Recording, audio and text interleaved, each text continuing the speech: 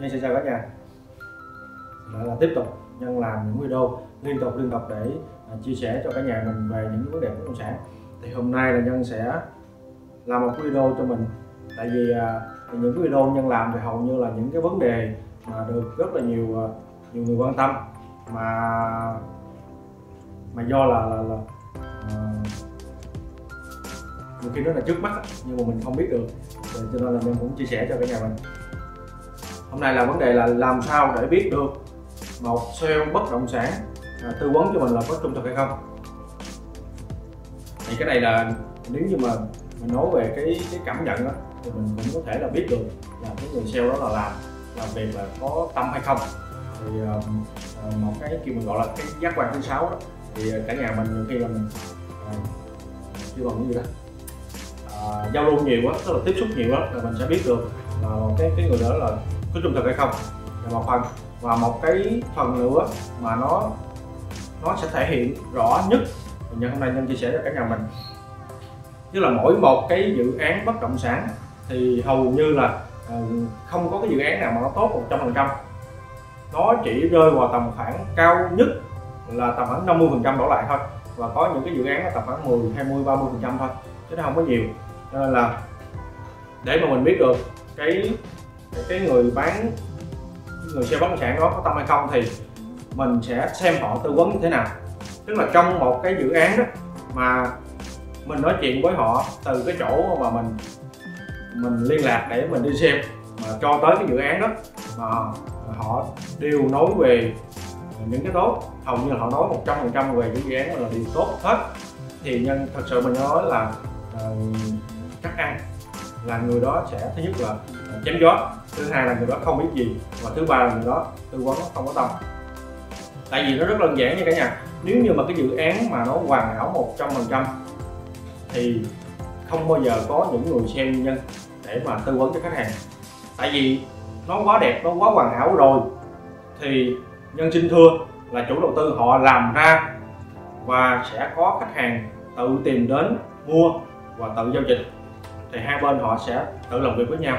Chứ không có cần mà những người người sale những người bán hàng như nhân để mà ngồi ra uh, tư vấn uh, mất cả ngày trời hoặc là nhiều khi mất cả tháng trời mất cả năm trời mới có thể bán được cho một khách hàng ở một cái dự án nào đó.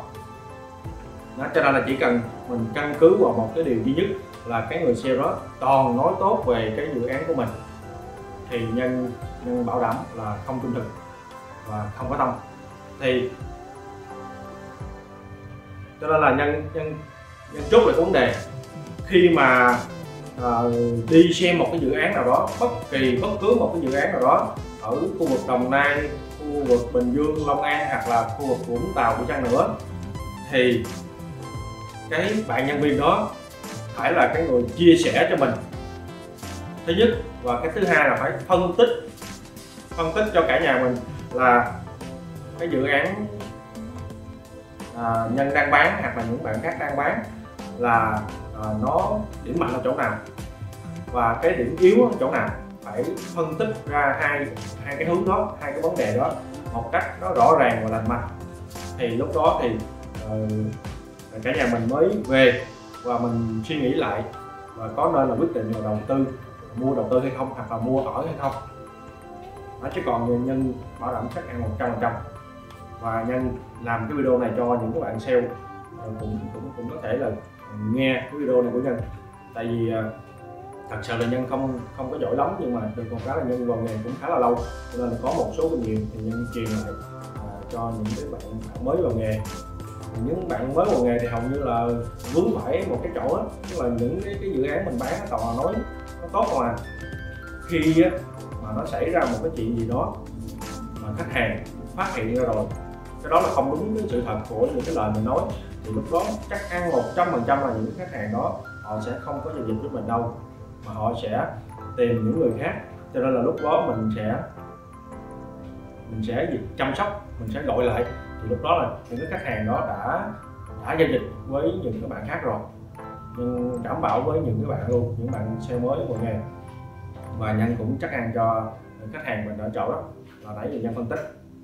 Tức là khi mà các bạn nhân viên nào bán hàng cho mình mà nói chuyện về cái khía cạnh là chia sẻ 50 50 có cái tốt có cái xấu thì những bạn đó là mới thật sự uh, có tâm trong nghề. Đó còn uh, không phải thì nó là điều ngược lại. Rồi nên chia sẻ một cái video đơn giản cho cả nhà mình thôi. Thì ờ, cả nhà mình nhớ bấm nút đăng ký đi có nhiều video sau nó càng còn hay rất là nhiều nữa. Còn nếu như thấy video này hay thì cứ chia sẻ cho bạn bè mình xem. Thì uh, biết đâu là mình sẽ gặp được những cái dự án mà uh, nó tốt với cái cái, cái giá cả thị trường uh, và cái hạ tầng của nó thì uh, chủ đầu tư làm rất là ok. Thì mình mua được chúng những cái dự án đó thì uh, cái cái sinh lời của mình nó rất là nhanh. Rồi nha xin chào cả nhà.